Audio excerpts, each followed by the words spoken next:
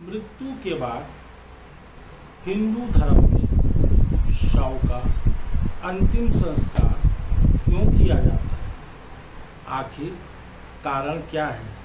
कोई व्यक्ति किसी चीज़ को अपने पास रखता है और एक लंबे समय तक रखता है तो वो उसका दीवाना हो जाता है। उसी प्रकार जिस घर में आप रहते हो, एक लंबे समय तक रहोगे तो घर की मोह आपके शरीर में प्रवेश कर जाती है। आपका घर छोड़ने का नाम नहीं लेता है। उसी प्रकार आत्मा शरीर में अपना वास बना लेती है, क्योंकि वह जीवन भर उसके शरीर में रहती है और जब उसका अंतिम संस्कार नहीं करेंगे तो वह आत्मा मृत्युलोक में आके भटकती है।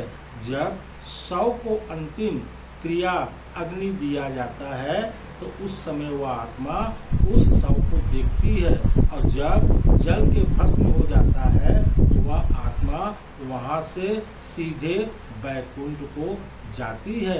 इसीलिए हिंदू धर्म में शव का अंतिम संस्कार किया जाता है। अगर यह वीडियो आपको अच्छा लगता है, इसे लाइक करिए, शेयर करिए, और नीचे लाल बटन को ज़रूर दबाइए।